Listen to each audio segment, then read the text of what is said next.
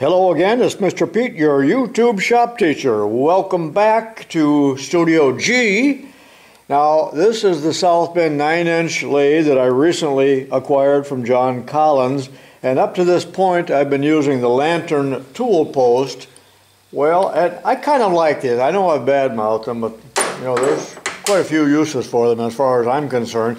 But I want to mount my Aloris quick change tool post on there this came off my Hardinge lathe. This is not the correct T-nut. It will not fit this. So the project today is to make a T-nut like this with a 9 16 fine thread in it that will fit this compound. Let's go down to the other shop where I've got some materials laid out.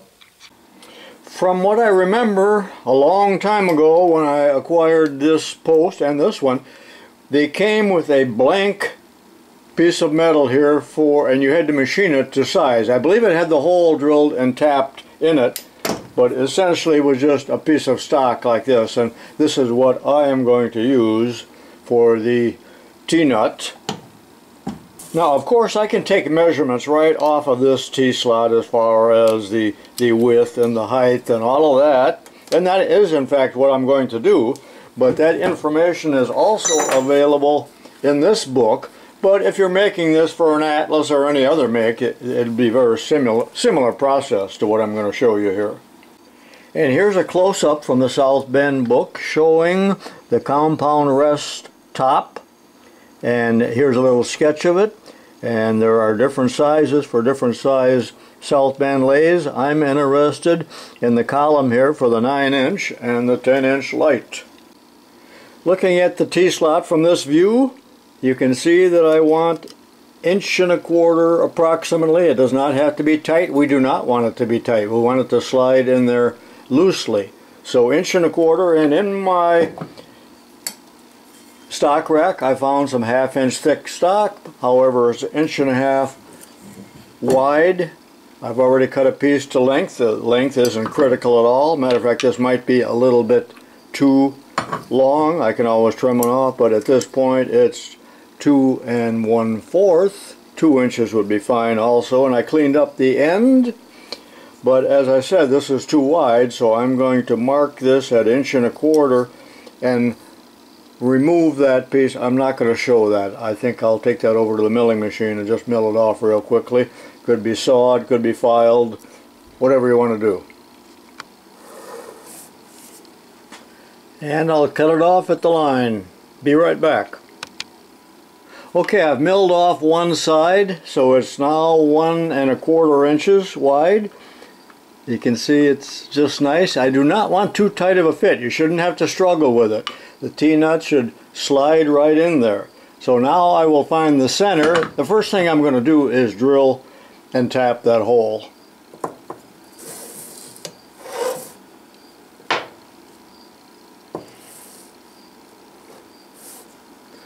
So there's the center. I will center punch this and we're ready to drill. Now again the thread is going to be it's 9 16 18 and the tap drill size is a 33 64 The reason I'm making such a big deal out of this hole is it has to be absolutely perpendicular to the workpiece or after you've had it mounted in there it's going to draw it up at an angle and either will not tighten down properly or you're going to crank it so tightly that you're going to damage your compound and break it out. So be careful of that. That's why I'm doing this on the mill, but there's an alternate way as well. Okay, here I am at the Bridgeport, and you can drill this on your drill press, but the critical thing again is tapping it straight. So it could be drilled like this, and then the drill bit's taken out, and we could guide the tap, and it would be perfectly perpendicular. But Mr. Pete, I don't have a milling machine. What am I going to do? Well, for those of you that do not have a mill, let's show you, let's talk about doing it on the little Atlas lathe over, over here. We can drill and tap. Alright, the work is mounted in a four-jaw chuck on the Craftsman lathe and I've got it centered up real well. Take a look at the center finder here, the Starrett. I haven't used that in a long time. There are videos on that. That assures that my center punch mark is in alignment with the center uh, in the tailstock. So now I'm ready to drill. 33 64 but I'll work up to it. Okay, I've got a starter drill.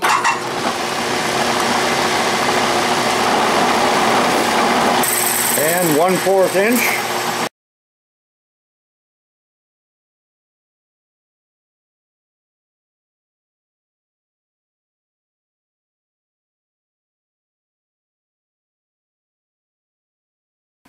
Okay, the 9 16 18 tap is being held in this way with a spring-loaded live center concentric brand. I don't believe I'm going to be able to use a tap wrench here because of all of the interferences, so I will use an adjustable wrench that'll take a little bit longer. I won't show all of that. Again, this assures that the tap goes in alignment with the hole that you just drilled and the thread will truly be perpendicular. And I'm speaking here mainly to newbies that possibly do not understand this. Okay, I'm ready to tap. I've already put some of this tap magic on there. And the spindle is locked. This is a hand operation, not a power operation. After every turn or two, and make sure you keep the center in the center hole there, back it up to break off the chip. That's the beauty of a spring-loaded center.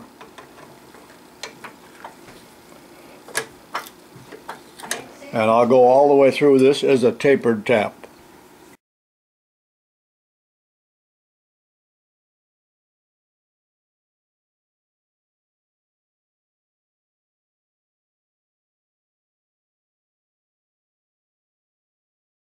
This is a one quarter inch tool bit and it fits just nicely in there with just a little bit of play so I have the height gauge set for 250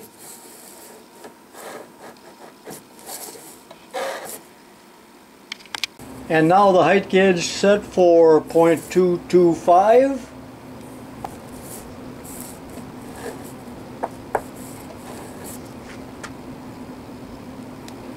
So this is what I'm going to mill out right here. You can see what it'll look like from the ends so that I end up with essentially a T-nut only in a slightly different dimension. So let's go back to the bridge Bridgeport. Here we go.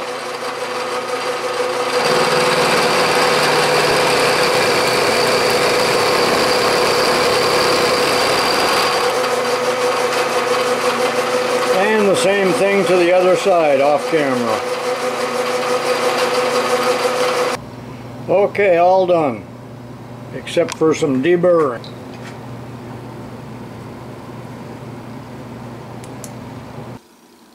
Okay, take a look. It's been deburred. I put an SB on here for South Bend. Doesn't look real good, but let's see if it fits.